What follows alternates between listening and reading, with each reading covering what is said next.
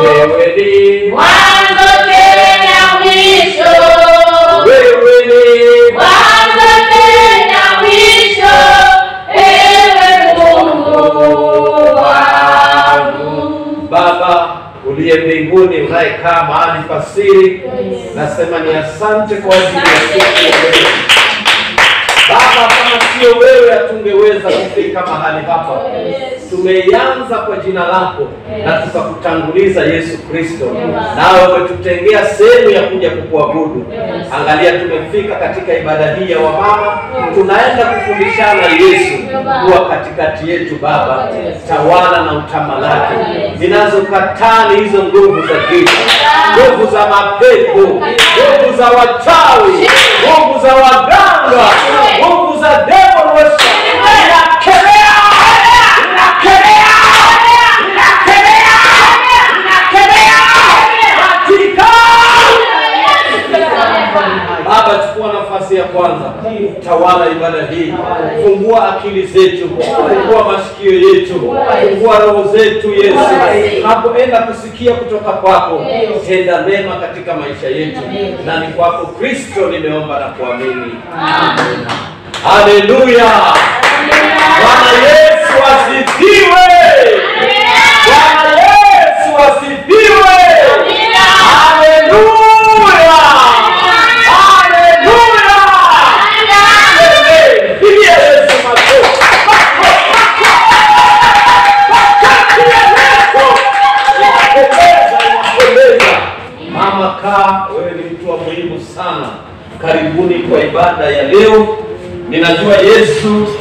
Yuko pamoja nasi jioni ya leo. Tumefika ni kwa ajili ya kusikia kutoka kwake.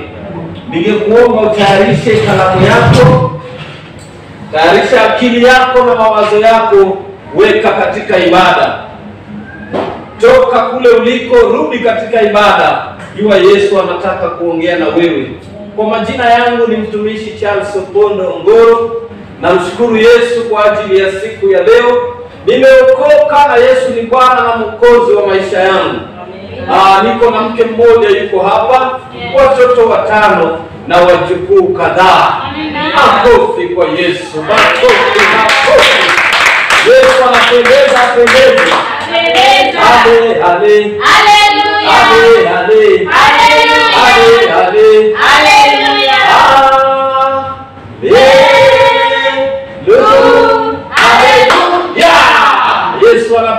Anapendeza, Yesu anapendeza. Ah, nimekuwa safarini, tulikuwa tumesafiri na mke wangu mama pasta, tumeenda tumerudi, yote ni kwa neema. Wengine wanasafiri na hawarudi, lakini namshukuru Yesu kwa kuitawala nyumba yangu, kunipeleka na kuniregesha. Yote ni kwa neema yake, na nasema ni asante. Jioni ya leo tutazungumzia mambo machache tu na tutajifunza katika pembe nyingi, lakini ningeanza kwa kusema ya kwamba kuna tofauti kati ya ng'ombe na nyati. Kuna tofauti kati ya ng'ombe na nyati. Nyati anakaa msituni na kuna watalii wanakuja kumwangalia nyati na wanalipa pesa kweli, lakini wanapoangalia yule nyati kwa muda mchache sana, pengine na lisali moja ama masaa mawili, alafu wanaenda zao, si sawa? Na ng'ombe naye ni mnyama anayefugwa nyumbani. Huyu ng'ombe uko naye kila siku, unamlisha, unamlea vizuri na mambo inakuwa sawa. Kwa hiyo mwanamke nje ya ndoa ni kama nyati. Utakuja watu wampe pesa kweli, wamuone dakika mbili tatu, lakini mwisho ataachwa peke yake peke yake.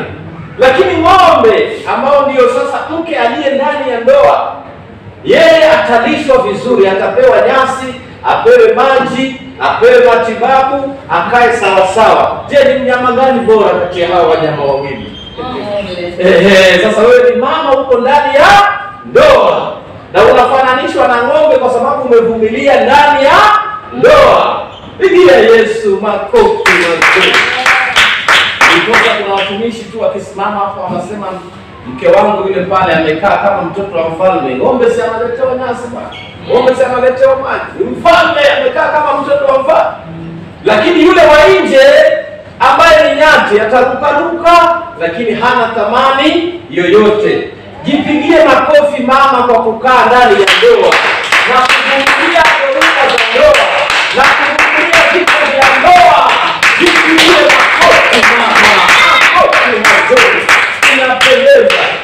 Leo nitazungumzia mwanzo mdogo. Mtu anaweza kuanzisha kitu kidogo na hicho kitu kidogo kweli kikazaa kikazaa mpaka kikawa kikubwa. Hakuna kile kinachokuwa kikubwa bila kuanzia kwa mwanzo mdogo. Hivi sasa tuko katika ibada. Ibada ya wamama ni kama iko na mabadiliko, na mabadiliko yake tunaanza na mwanzo mdogo. Si wewe umefika? Na tuko wachache hapo, watatu wanne, huo ni mwanzo mdogo. Huu mwanzo mdogo unaweza kuzaa matunda. Na wengi wakajaa mpaka kule nyuma, kwa sababu ya mwanzo huu mdogo, na wewe kuvumilia kuja kwa mwanzo huu mdogo. Kuna watu wanasema mimi siwezi enda, kuna watu wawili watatu siendi, lakini huu mwanzo tunaoanza, wengine watakuja wafike juu, wakute tumefika mbali na tumeshafika mbali. Usidharau mwanzo mdogo. Zakaria, nataka tusome andiko mwanzo mdogo, Zakaria nne Nitazungumzia nieleze pale mwanzo, lakini tutaanza kusoma mstari wa nane. Lakini kwanza nitazungumzia ni ni mimi hupenda kupeana mwelekeo wa andiko ili hata wewe ukienda kusoma ulielewe vizuri. Zakaria nne, uh, tutasoma mstari wa nane mpaka kumi na moja, lakini kuanzia mstari wa kwanza nitajaribu kueleza vile Roho ataniongoza. Ah, ndio upate mwelekeo mzuri. Ni kwamba haya ni maono. Zakaria nne moja. Haya ni maono ambayo anaonyeshwa Zakaria. Maandiko yanaanza hivi, Zakaria moja. Msomaji wewe ningoje kwa mstari wa nane. Maandiko yanaanza hivi kwa mstari wa kwanza, Zakaria nne moja inasema hivi: na yule malaika aliyesema nami kama mtu aamshwavyo katika usingizi wake, akaniuliza unaona nini? Swali hilo. Nikasema nimeona na tazama, kinara cha taa cha dhahabu tupu. Ameona kinara cha taa cha dhahabu tupu, nacho kina bakuli juu yake na taa zake saba juu yake, tena iko mirija saba ya kuleta mafuta kwa taa zote zilizo juu yake. Mirija saba ya kuleta mafuta. Zakaria nne moja. Wapendwa, naanza kwa- kwa kuambia kwamba haya ni maono anayoonyeshwa Zakaria. Ukifika mstari wa na- nane sasa, nisomee mtumishi. Ameona taa saba, mirija inapeleka mafuta na hizo taa ni za dhahabu tupu. Sasa nisomee mstari wa nane, Zakaria nne mstari wa nane. Ehe, eh, ehe. Tena neno la Bwana likanijia Tena neno la Bwana likanijia kusema, ndiyo Mikono yake Zerubabeli mikono yake Zerubabeli imeweka misingi ya nyumba hii, imeweka misingi ya nyumba na hii, mikono yake na mikono yake ndiyo itakayoimaliza. Kwanza, mkono wa Zerubabeli ndiyo imeweka nini? Msingi, na hiyo mikono ya Zerubabeli ndiyo itakayoimaliza. Twende mtumishi. Nawe utajua ya kuwa Nawe utajua ya kuwa Bwana wa majeshi amenituma kwenu. Bwana wa majeshi amenituma kwenu. Ndiyo, kumi. Kumi. Ehe, Maana maana maana ni nani aliyedharau siku ya mambo madogo? ni nani aliyeidharau siku ya mambo madogo? Ehe, Kwa kuwa kwa kuwa watafurahi kwa kuwa watafurahi nao wataiona samahani, nao wataiona timanzi katika mikono ya Zerubabeli. nao wataiona timazi katika mikono ya Zerubabeli. Naam, Naam, hizi saba saba ndizo macho ya Bwana. Hizi saba ndizo macho ya Bwana, hizi saba zinazoleta mafuta katika mifereji ile mirija, kumbe ni macho ya Bwana. Malizia mtumishi, Yapiga mbio huku na huku yapiga mbio huku na huku duniani mote. duniani mote. Pigia Yesu makofi mazuri. Zerubabeli anatajwa katika maono ya Zakaria na mstari wa nane unasema ya kwamba Zerubabeli akaonekana na mwanzo mdogo. Usidharau mwanzo mdogo, maana huu mwanzo mdogo ndio inaleta ukubwa wa jambo. Wewe mama umekaa hapo, Zerubabeli hakuwa tajiri. Zerubabeli alikuwa ni mtumishi tu na anaonekana katika maono. Zerubabeli alianzisha msingi wa nyumba ya Bwana, akaanzisha msingi, lakini watu wakamdharau kwamba huyu Zerubabeli naye anaweza kuanzisha msingi ukafika mahali, lakini Mungu akasema kwa mkono wako wewe Zerubabeli nitaimaliza hii nyumba. Yule yule aliyedharauliwa ndio mkono wake utamaliza. Pigia Yesu yena watu hawakuamini kwamba Zerubabeli angeweza kumaliza msingi wa nyumba ya Bwana, lakini maandiko yanasema Bwana akamwambia Zerubabeli, kwa mkono wako wewe Zerubabeli, hii nyumba itaisha. Pigia Yesu makofi. Zerubabeli huenda alikuwa maskini, huenda alikuwa hana chochote, lakini alianzisha msingi wa nyumba ya Bwana, na Mungu akamwambia, kwa huu mwanzo wako mdogo ulioanzisha nyumba yangu, nitakutia nguvu na utaimaliza. Mpendwa, ukiwa mahali hapa, hata kama kuna kabiashara umekaanzisha, usidharau huo mwanzo mdogo. Mungu atatia mkono wake kama alivyotia kwa Zerubabeli, nawe utaikamilisha. Hata ndoa zetu, kwani tukioana silikuwa ni kama mchezo mchezo tu, yaani kama kibe tu, kuja leo kuja kesho, tusikuane hivi. Mchezo mchezo, mwanzo mdogo tu, na sasa imekuwa ndoa, tuna watoto na wajukuu. Mwanzo mdogo, usidharau mwanzo mdogo.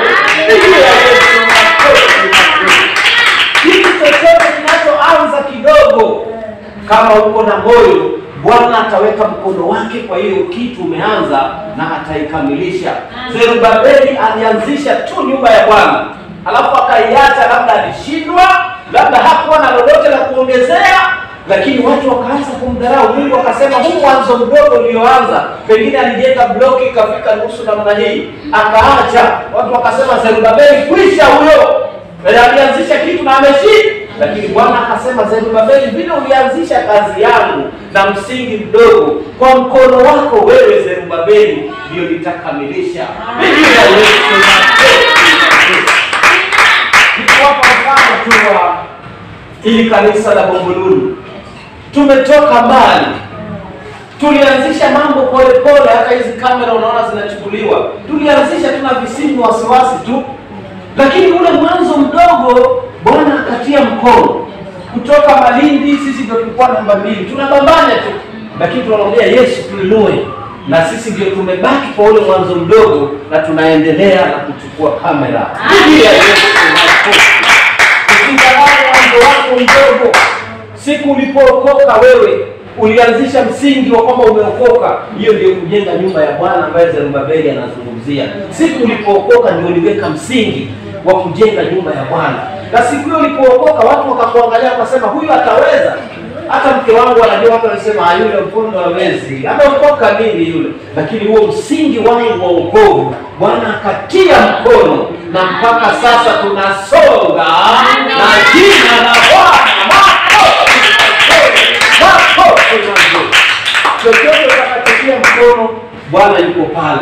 Maandiko yanasema akaona taa saba za dhahabu, na hizo taa zina mirija saba, na hiyo mirija saba inatia mafu Mafuta ni nini? Roho Mtakatifu anaingiza, inasambaza. Na maandiko yakamaliza mstari wa kumi kwamba macho ya Bwana yako kila mahali na inaweka mafuta kila mahali, kwa yoyote aliye tayari kuanzisha mwanzo mdogo. Pigia Yesu makofi mazuri. Katika kazi tunazofanya, unaweza kuwa unafanya kazi ambayo watu wanakudharau, wewe mama unafanya kitu, watu wanakudharau, lakini jua kwamba mkono wa Bwana uko pamoja nawe na atatia mafuta hiyo kazi yako na mambo itasonga mbele. Makofi. Usidharau kitu chochote kinachoanza kidogo. Hii ni nyumba ya Bwana. Zerubabeli alianza msingi katika nyumba ya Bwana. Wewe na mimi ni msingi gani tumeweka katika nyumba ya Bwana? Katika hizi huduma zetu, pengine kuna huduma umeshikilia, watu wanakudharau kwa hiyo huduma. Yule mama anakuja akiosha vyombo tu, yule mama anakuja akifanya kazi hii tu, lakini jua katika huo mwanzo mdogo ukubwa utaonekana. Amina. Yesu ataweka taa, mambo itainuka. ya Yesu makofi mazuri. Hapo sisi wamama katika ndoa, wengi wetu huwa tunataka vitu viko tayari, lakini wacha nikwambie, msingi ulioanzishwa tayari juu ni msingi ambao utaporomoka, lakini msingi ulioanza chini kwa mwanzo mdogo kama vile Zerubabeli itainuka kwa jina la Yesu. Pigia Yesu makofi mazuri. Wacha tusome Methali kumi na moja kumi na moja. Watu huwa wanampenda sana mtu aliyekufa na wanakuja wanasherekea katika matanga yako, wanafanya mambo wakilia, wakifanya nini, lakini sababu yenyewe sio kwamba ati wana huzuni. Wao wamekuja pale kusherekea na kulia kwa sababu kuna mahali ulikuwa umewafinya, lakini sasa umeondoka, wamebaki huru. Sio kwamba kile kilio kwa ni bure, kuna mahali umewakanyagia. Sasa kuondoka kwako ni raha kwa, ndio watu wanapenda mtu akiwa amekufa, ameondoka, ameacha nafasi. Pigia Yesu makofi mazuri. Methali kumi na moja kumi na moja tafadhali, ukingojea Methali kumi na moja kumi na moja ndiyo Mm. moja. ndiyo Mji hutukuzwa kwa ba, kwa baraka kwa Mji. baraka mji hutukuzwa kwa baraka, kwa baraka wa kwa mbaraka. Mbaraka eh, eh, mji hutukuzwa kwa mbaraka, mji hutukuzwa kwa mbaraka, mji utukuzwa kwa mbaraka wa mwenye haki, wa mwenye haki, bali mji hupinduliwa bali mji hupinduliwa kwa kinywa cha kwa kinywa cha mtu mwovu. Pigia Yesu makofi mazuri. Mji inaweza kuwa ni watu, mji unaweza kuwa ni pahali watu wanaishi, mji inaweza kuwa ni utukufu fulani, si sawa sawa? Pale mahali unakaa, pale mahali ulihamia, pale mahali huko unakaa leo, huo mji unatukuzwa kwa ajili ya mbaraka wa Bwana ambaye ni wewe mama, ambaye uko hapa mahali unakaa.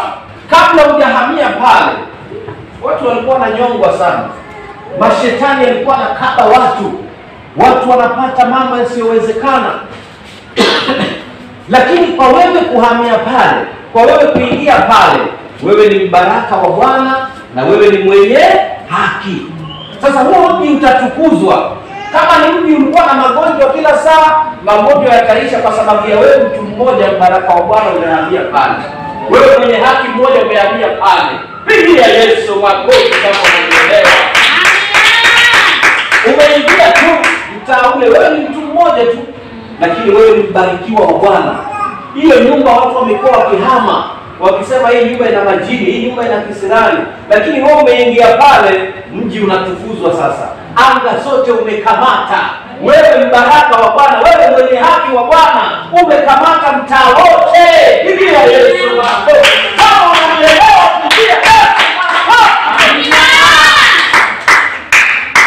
Kuna mambo yanaweza kuwa yanapangiwa mji ama kanisa ama mahali unapokaa, lakini kwa vile wewe unakaa pale, hilo jambo halitatimia, maana wewe ni baraka wa Bwana, kwa sababu hata Ibrahimu aliambiwa ukiwa na watu watano hapa Sodoma, nibomoa hii Sodoma, akasema "Ah, kama kuna mwenye haki hata mmoja siguse hapo. Kwa hiyo mahali unakaa wewe, shetani anaweza kukaa akapanga njama zake kwamba anakuja kubomoa hiyo plot. Lakini kwa vile wewe ni baraka wa Bwana uko pale na wewe ni mwenye haki, akifika anakuta vitasa saba eh, za dhahabu zimesimama zinavuta mafuta tu, akifika na chapo anaenda kwa sababu yako wewe. Wacha nikwambie, pale unakaa huenda ikawa kuna watu hawagonjeki, kuna watu wapati shida kwa sababu yako wewe uko pale. Ukihama pale, shetani anaingia, maana hakuna tena mbaraka kwa Bwana. Makofi kwa Yesu. Wewe mbarikiwa Bwana. Ukiwa mahali hapo, mahali pamewekewa jezi, hauingii, shetani haingii kabisa. Kwa hivyo mji utachukuzwa kwa mbaraka wa Bwana. Wewe unaweza kuwa wa msaada kweli, mahali unafanya kazi, mahali unafanya biashara, hasara haipatikani na watu wanalipwa vizuri kwa sababu yako wewe, lakini siku ile utafutwa ama uondoke hapo mahali, mbaraka wa Bwana ameondoka, shetani anafanya nini? Anaingia na anaanza kusambaratisha, hata hakuna kitu kikasonga. Sijui kama unanielewa mtumishi.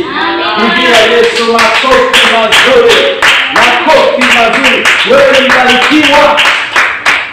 Unajua kuna watu wanakudharau tu, lakini yale maombi tunafanya hapa, inaweza kuwa hii nyumba hata homa haiwezi ingia, inaweza kuwa hata hii nyumba shetani hawezi fika, kwa sababu sisi wabarikiwa wa Bwana tukitaja tu haleluya kwa jina la Bwana Yesu, shetani amefika kero, anaenda, hataki kusikia tena hiyo sauti, anaenda.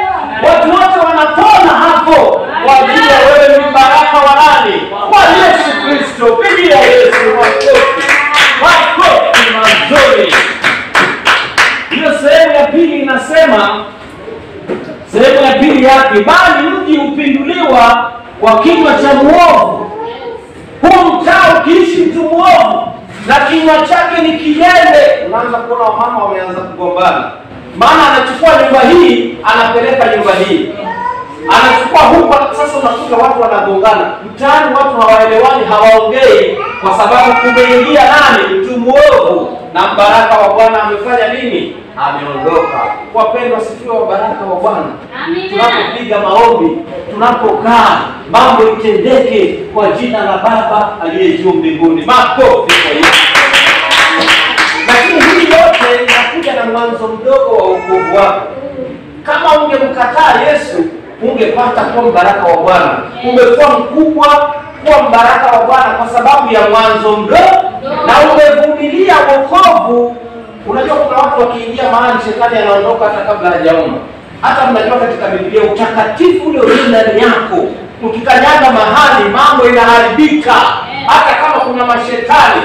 Ukienda kutafuta nyumba, mwenye nyumba akikuona na ana majini anasema ah, usije hapa wewe, wewe hapo usikupe rumu hapa, kwa sababu anajua ule utakatifu wako tu utaharibu mji wote na kazi zake zikafanya nini? Zitasambaratika. Makofi kwa Yesu. Amina. Wacha nimalizie na kitabu cha mwisho, uh, kitabu ambacho huwa nakipenda sana, Mwanzo thelathini na tisa ukianza moja, mbaraka wa Bwana yaliyeanza na mwanzo mdogo wa kuteseka. Mwanzo thelathini na tisa nitaeleza. Huyu ni Yusufu. Yusufu alikuwa anatembea na neema nyumba yoyote aliyoingia Yusufu, neema ilikuwa mahali pale. Alipoingia katika nyumba ya Potifa tu, alipouzwa tu, maisha ya Potifa ikageuka, kwa sababu Yusufu ni mbaraka wa Bwana. Alipoingia katika nyumba ya Potifa, hata Potifa akiuza omena zinaisha zote, akiuza njugu inaisha zote, akiuza maji mfereji unakauka, watu wananunua maji yote, kwa sababu ni mbaraka wa Bwana na anatembea na neema. Wewe mama ni mama wa neema. Mahali utakapoingia nguvu za Bwana zinatawala. Yes. Potifa akajiuliza swali, mbona mimi ni askari katika nyumba ya Farao na maisha yangu hayakuwa hivi siku zote? Kumbe kufanyika nini tena? Kumbe ni Yusufu aliyebeba neema, ameingia katika nyumba ya Potifa, yaani mji umebadilika kwa sababu mbaraka wa Bwana amefanya nini? Ameingia. Lakini hapo Yusufu yuko kwa mwanzo mdogo, bado anateseka, lakini Bwana ameweka mkono wake juu yake. Pigia Yesu makofi. Mambo ikawa mazuri kwa nyumba ya Potifa mpaka tukifika Mwanzo arobaini na moja thelathini na saba Farao mwenyewe anakubali, anasema tupate wapi tena mtu kama huyu ambaye Mungu anakaa ndani yake. Makofi kwa Yesu. Ah! ya Yesu makofi. Umewahi kwenda mahali ukapiga maombi, mambo ikabadilika, ukisema tu haleluya, amina. Kama mtoto alikuwa mgonjwa amepona, ukiingia katika nyumba, ukitoka umeacha baraka, kama ni kila kitu, kama ni kazi, kama ni biashara zinaisha, watu wanauza vitu vyao vinaisha, kwa sababu wewe mbaraka wa Bwana umeingia wapi? Katika ile nyumba. Pigia Yesu makofi. Lakini haya yote makubwa yanayotokea mpaka Yusufu anakuwa waziri mkuu, alianzia na mwanzo mdogo. Usidharau kitu kidogo, anza na chini, ukipanda mpaka ukifika juu, mambo imekuwa sawa. Makofi kwa Yesu. Unajua maana, mnanielewa na mnajua mahali tumetoka. Kama hii Gongoluni tumetoka mbali, hata ukituona tuko hapa sasa, tumetoka mbali, mambo mengi tumepitia, mambo mazito, lakini kwa vile sisi ni wabarikiwa wa Bwana, bado tumesimama, maana mkono wa Bwana uko juu yetu kama watumishi. Pigia Yesu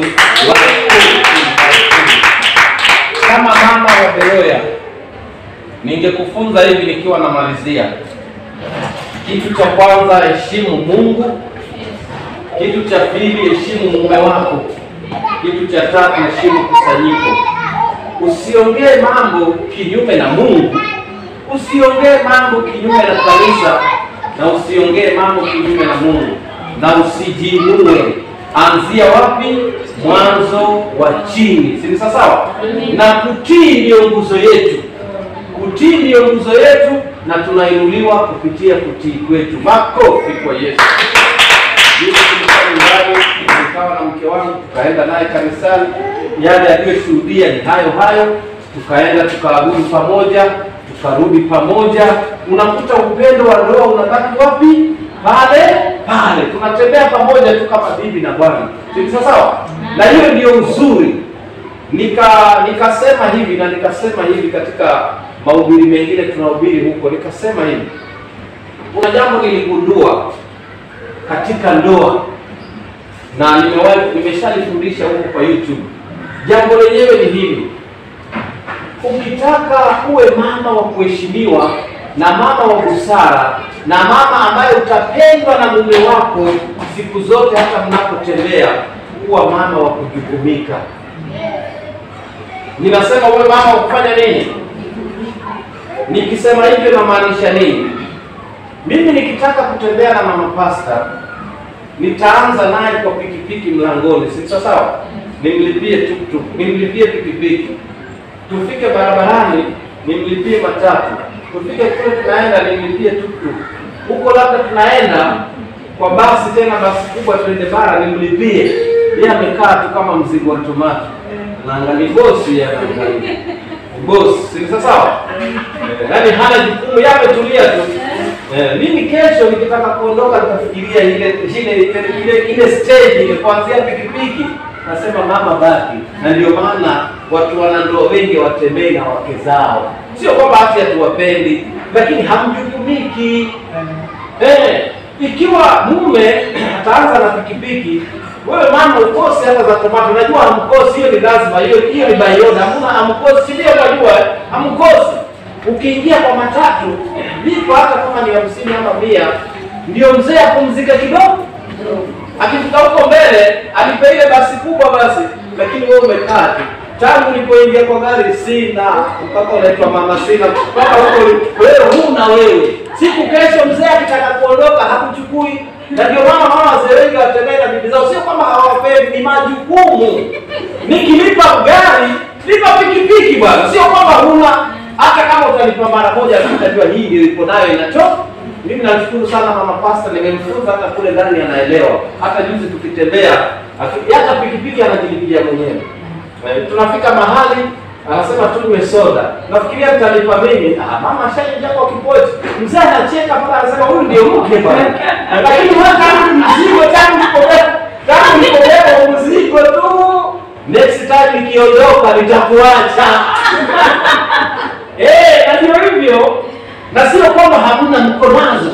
Tafadhali mama, mzee akiona unatumia hata kama ni hamsini yako tu kwa ajili yake, huyo mzee atakupenda sana, hata kama hataongea.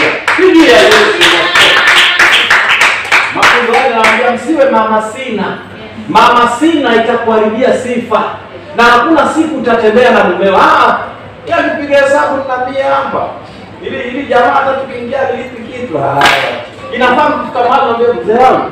Mimi nataka tunywe soda hapa ama tupate nini basi tu kiroho kwa wajua mwingine kama atalipa yeye anashtuka roho mpaka anasibia hapo njia lakini ukimwambia "Ah, mke wangu mume wangu simama kidogo tupate soda ama juisi hapa anajua eh niko na mama wangu Eh, lakini wacha tunywe soda au juisi alafu kishamaliza kunywa unaniangalia. Ah, Nitalipa lakini next time siendi na wewe. Tuwe wamama wa kujukumika. Amina. Ili funzo wapendwa. Mzee akiona unakuwa Wacha niwaambie mazungumzia tu kutembea lakini kuna wamama hata hivi ninavyoongea ndio wanaonunua unga kwa nyumba na hawalalamiki wala hawajawahi kumwambia mtu. Nashukuru sana mama pasta ameelewa hiyo. Na tunaweza kula kuku kwa nyumba bila shida yote. Najua leo mama wa nguvu amenunua kuku. Pigia Yesu makofi. Kuna wakati hata mzee wangu anakuaga tu asubuhi, mke wangu mimi naenda kazi, lakini hali sio nzuri, hatujalipwa na sijui kama nitapata huko. Sasa mzee amekuachia tayari ripoti nzuri kama hiyo, sio kwamba kuna shida yote kwa nyuma. Ah, amekuacha mke wangu naondoka, lakini mambo si mazuri. Akirudi jioni umenyosha mguu, saa mbili unamngojea, si ukope hata sukuma eh? si uzungumza hata na rafiki yako akupemia, utamregeshea wewe, unamngojea akifika jioni, ah, niambie tu- twapika nini leo? Leo twapika nini? Yaani uko kwa vita vita, leo twapika na amekwambia asubuhi eh? Unakuwa mwanamke anayejielewa, na haya mambo yanaenda vizuri kwa amani na upendo, si sawa? Amina. Wanawake mjukumike. Heshima ya mwanamke inatokea na jukumu. Mimi najua mama mama Anderson akitumia hamsini yake kwa Anderson, kuna kitu amegusa ndani, lakini kila siku sina ah! Na mimi nami nitakuwa sina. Pigia Yesu makofi. Pesa ni zile zile zake, lakini zinaweza kuzunguka hivi na zikamfurahisha hizo hizo zangu, lakini zitanifurahisha mimi, yani nakaangwa na mafuta yangu, unaona, nakaangwa na mafuta yangu, lakini ndio sawa. Pigia Yesu makofi. Nikasema ya kwamba unaweza kusema tuna invest kweli, wewe zako maficha zote, unapelekea ndugu zako, mama yako, umejenga kweli. Siku moja hao ndugu zako watakufukuza na wachukue hizo mali zako zote. Jenga kwenu ni pale umeolewa, fanya kitu pale, hapo ndio kwako na ndio watoto wako watarithi. Ndugu zako kule wakisema nyumba yako hatukupi riziki, ulikujengea ni yetu, shoria. Sasa huku kwako hujajenga kitu, kule umejenga na umepokonywa. Tafadhali wa mama mjukumike, si sawa sawa? Mama mama mama kiongozi, si sawa? Unaweza nunua unga kwa nyumba, pia anaweza kuja kala bila kutoa kitu, sio kwamba ati hana, lakini wewe umejukumika kama mama. Mama Pasta, nashukuru sana. Yesu akuongeze hiyo neema. Na Yesu akuongeze hiyo neema. Mama Anderson, si sawa? Anderson ale bila kutoa pesa. Aya, mmepanda gari, mzee anang'ang'ana nang'ang'ana, baba fulani, acha ishalipa ama nitalipa. Mzee anakaa sema, huyu ndio mke basi au bebe kuanzia mlangoni. Eh, Hata kuna mahali kama kuna matoto ya kubeba mgongoni pia kuvukisha hayo matoto. Kwa sababu wewe ni kubebwa tu kutoka nyumbani mpaka safari hiche. Ah, huyo si mama, huyo si mama wa nguvu. Kuna kitabu nilitumia hapo, nataka tukisome nikiwa namalizia, mama mwenye akili, Samueli wa kwanza ishirini na tano tatu. Nakwambia uwe mama wa akili timamu, wa akili nzuri. Soma tu tuisikie. Samueli wa kwanza ishirini na tano tatu. Yaani wamama wa nguvu wako katika Biblia, wamama wa kujitolea wako katika Biblia. Ehe. Kitabu cha Samueli wa kwanza Eh, wa tano mstari wa. Eh. Na jina la mtu huyu aliitwa nabii Yes, Nabali. Nabali, ehe. Na jina la mkewe aliitwa Abigaili. Ehe. Na huyu mwanamke alikuwa mwenye akili njema. na huyu mwanamke alikuwa mwenye nini? Akili njema. Ikaishia hapo tu. Sasa kumua akili njema ni nini? Akili njema ni kununulia mzee wako soda wakati mnatembea, tena na straw. Akili njema ni kununua unga kwa nyumba japo mara moja. Hiyo ndio mwanamke wa akili njema. Sio wewe unatia kwa shimo la panya zinapotelea huko mpaka zingine zinaibiwa. Uwe mwanamke wa akili njema. Akili njema imebeba mpangilio, vile umejipanga katika hiyo ndoa. Wewe umejipanga vipi ndani ya ndoa yako? Umejipanga na mama sina, kila kitu sina, sina mpaka majani sina. Ah! Ah! hiyo haipo. Abigail alikuwa na akili njema. Je, wamama wa leo mna akili njema? Hebu angalia Luka nane moja mpaka tatu inasemaje? Hatutasoma, lakini inasema ya kwamba Maria Magdalene alitolewa pepo saba, Yohana mkewe Kuza na Suzana walipotolewa mapepo wakaanza kumfata Yesu. Maandiko yanasema walimtumikia Yesu na mali zao, mali zao. Wanawake wa nguvu hao walimtumikia Yesu na mali zao. Dorcas, unaona anashoneshea wamama nguo, anafanya mambo mema. Enyi wamama wa Beroya, ninawaomba muwe wamama wenye akili njema. Makofi kwa Yesu. Nashukuru kwa kipindi hicho. Ningeomba kama kuna mama ana swali ama maoni achangie. Wacha leo tuanze na wewe mama yetu, mama Pasta. Kweli ujumbe umeusikia, unasemaje kwa wamama? Simama tu na Yesu akubariki. Eh, tuwe wamama wa akili njema, tuwe wamama wa mpangilio, tuwe wamama wa mwanzo mdogo. Unaweza anza tu kuchoma viazi, unauza vitu polepole, na ndio unasonga mpaka siku inafika, unasaidia mzee wako, unanunua unga mfuko mmoja, lakini umeanza na mwanzo mdogo kama Zerubabeli. Karibu mama. Amina. Mafundisho yamekuwa sawa. Kwa mama bado tunazidika kidogo, yaani kile kidogo ambayo mzee atakuachia hata kama ni kidogo, unaweza kununua sifuna na kama kumbukumbu. Kwenda saa zingine amekosa, wewe unampush mahali pale, na jinsi anavyosema mkiwa katika safari, usiwe mama wa mzigo kwa mzee, unajibidi una Eh, unachukua yaani, unakuwa mama wa kujibidii, unakuwa mama pia ambaye anasimama pia na mzee wake. Eh, sasa unaweka kidogo, mkiwa mnatembea, wewe pia unaweza kumsupport. Unasema leo, wacha mimi nisimame, hata kama tuingie mahali tukunywe chai, simamia hiyo chai kama mama, pia umsurprise, ajue kweli kumbe nina mama wangu. Amina. Ah, nakumbuka juzi nikiwa nyumbani, mama mama pasta alikuwa ameenda kwa dadake, na sisi kule kuna makao karibu matatu manne, kuna shambani, kuna wapi. Sasa ikawa hata kuja nyumbani jioni tunakutania kule shambani. Nikampigia simu nikamwambia, waja wewe, nishanunua chakula hapa, lakini nunua sukari, tomato na mafuta kupikia. Uh, nilikuwa natarajia jibu ambalo si la kawaida, lakini akaniambia sawa, naja nayo. Nasema ho, na mtu anaelewa, lakini kuna majibu mengine huwa ni mazito. Nilimwambia tumishanunua mboga hapo, ukishuka hapo Kodiaga, chukua sukari na mafuta ya kupika chuna na tomato, kwa sababu mahali tuko ni shambani. Akaniambia sawa, naja nazo. Sasa unaona majibu kama haya, yaani unasikia kama uko, uko dunia nyingine na uko na mwenzako, si sawa? Hainapendeza, haipendezi. Eh, kiongozi wa mama, una jambo? Amina. Mm. Na ninayasapoti mafundisho kwa sababu ya mfano mimi mwenyewe. Mm. Nyuma mzee alipokuwa mlevi alikuwa hana hajikumbuki na chakula, Mm. akileta chakula ni yaani bahati. Mm. Ni mimi mwenyewe nijue watoto wangu watakula nijue watoto wangu wataenda shule Mm. nijue hata yeye mwenyewe anavaa vipi. Hata saa hivi unaanza sema ah, nimechoka kama mwanadamu, Eh. hata nimwache na hivyo viatu vyake atembee, atatembea na viatu vyake hivyo. Hashughuliki. Hatuliki hata au ya hivi. Mm. Mpaka inabidi ifanyie watu kwa viatu vile kwa na mama mimi sitaki hiyo. Mm. Ninunulie mimi vile viatu. Mm. Nimeishi na hiyo hiyo hali Mhm. miaka nyingi. Lakini katika kuvumilia nyumba yangu imesimama na sasa hivi mzee Mungu alirekebisha Mm. Kama hana lakini Ndio. nacho na mimi pia nafurahia. Ile stress nilikuwa naye zamani sina. Mm. Kwa hivyo namshukuru Yesu kwa sababu kitu kimoja ambacho nilikujaona kwa nyumba, mwanamke ndo anasimamisha nyumba si mwanamume.